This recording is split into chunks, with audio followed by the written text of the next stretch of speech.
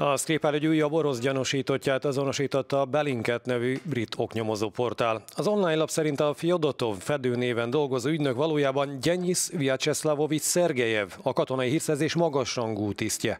A korábban azonosított két gyanúsított, a szintén orosz katonai hírszerző Anatoli Csepiga és Alexander Miskin mellett Szergejev is részt vett a gyilkossági kísérletben.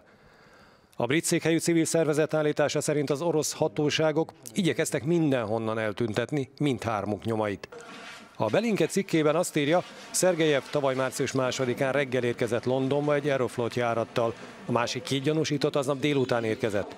És március 4-én hagyta el az országot akkor, amikor Szergej és Julia Skipál novicsok mérgezésben összeesett. A férfi Londonból Rómába, majd még aznap tovább Moszkvába utazott. Szerepe a merényletben egyelőre nem ismert, és az sem bizonyítható, hogy járt volna Salisbury-ben. Az oknyomozó portál a jövő hétre ígért egy bővebb és részletesebb cikket a Skipál ügy hátteréről.